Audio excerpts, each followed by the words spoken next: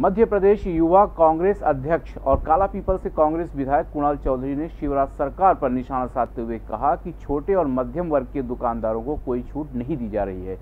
ये सरकार सिर्फ़ शराब माफियाओं पर मेहरबान है और माफियाओं के सामने सरकार झुक गई है। मध्य प्रदेश में शिवराज सरकार द्वारा शराब में छूट देने को लेकर युवा कांग्रेस अध्यक्ष और विधायक कुणाल चौधरी ने शिवराज सरकार पर जमकर हमला बोला।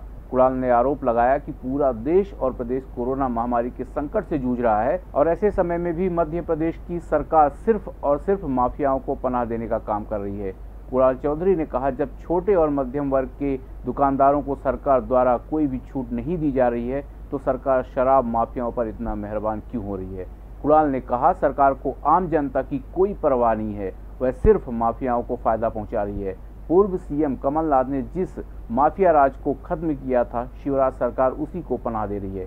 प्रदेश को माफिया के हाथ में सौंपा जा रहा है। मध्य प्रदेश सरकार एक बार फिर शराब माफियाओं की गिरफ्त में है। लगातार जितने दिनों से आम जनता परेशान है, जनता के लिए कोई राहत नहीं, पर लगातार शराब माफियाओं के आगे घुटने टेकने का काम सरकार कर रही है। जिन छोटे दुकानों, मध्यम व्यापारियों की पूरे चीज़ें बंद है उनके लिए कोई टैक्स में कोई रियायत नहीं। पर जिन शराब माफियाओं के ठेके हुए हैं और जितने दिन बंद रहे, उतने दिन का उनको छूट देने का काम किया।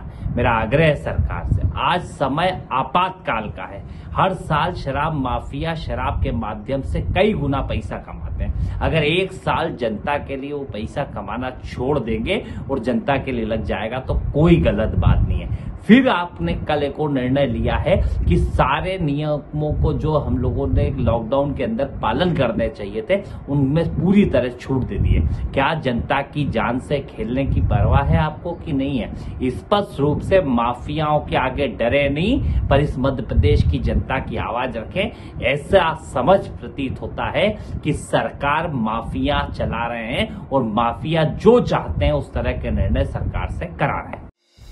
संगीत की स्वर लहरियों से सांस्कृतिक ताने बाने तक चंबल के पीड़ों से नक्सलवादियों के गढ़ तक झोपड़ी से महलों तक ठेलों से मेलों तक पगडंडियों से सड़कों तक। गाँव से शहरों तक।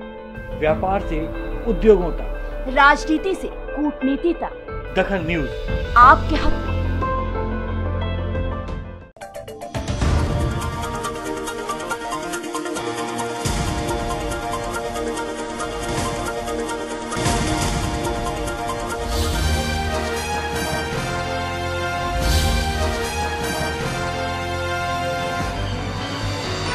आप देख रहे हैं दखल न्यूज़।